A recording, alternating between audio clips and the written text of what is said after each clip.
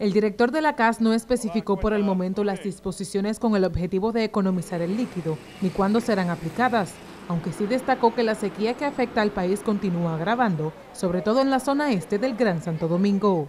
Tenemos el acueducto barrera de salinidad con un caudal totalmente disminuido. De seis plantas estamos operando con dos. Es penoso eso. Y es posible que tengamos que sacar durante el día de hoy el acueducto por 24 horas para esperar que el río pueda llenar su caudal y que pueda entrar por lo menos de seis puedan entrar cuatro. Tras las disposiciones del director de la CAS, los lavadores de vehículos que operan en las calles dijeron estar conscientes de la situación y se comprometieron a economizar agua.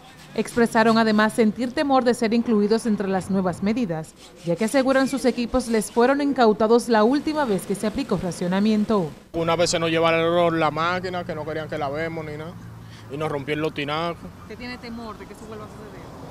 Claro, no tiene temor porque nosotros vivimos de esto. Este último entiende que para enfrentar los periodos de sequía en el país, se debe poner mayor atención en otras áreas. Estos lavadores informales dijeron además tener la esperanza de que las medidas que se vayan a aplicar sean viables para estos. Jaycee Capellán, Noticias SIN.